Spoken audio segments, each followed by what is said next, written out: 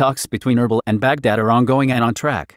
The president of the Kurdistan Regional Government Masroor Barzani, on Sunday, British ambassador to Iraq Jon Wilks, and discussed with him a number of issues of common concern.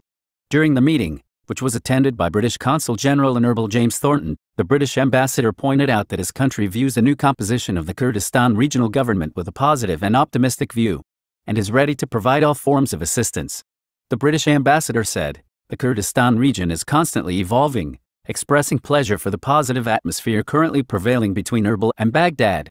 Also pointed out that British companies are ready to come and invest in the Kurdistan region. In turn, the president of the Kurdistan Regional Government Masroor Barzani highlighted the relations between the region and Baghdad, explaining that the talks are continuing and relations are on track. And there is a good understanding to resolve differences based on the constitution. The Prime Minister also called on the British ambassador to provide more facilities for the travel of citizens of the Kurdistan region and Iraq in general to Britain. In this regard, the British ambassador, the existence of a mechanism under which will accelerate the issuance of visas, visa, for citizens of the Kurdistan region and Iraq in general. On the other hand, received Mr. Masroor Barzani, on Sunday, the new French consul in the Kurdistan region Olivier Decottignies. During the meeting, the president of the Kurdistan regional government congratulated the consul Decottignies on his assumption of his new position and wished him success in his work, pointing to the historical relationship between the Kurdistan region and France.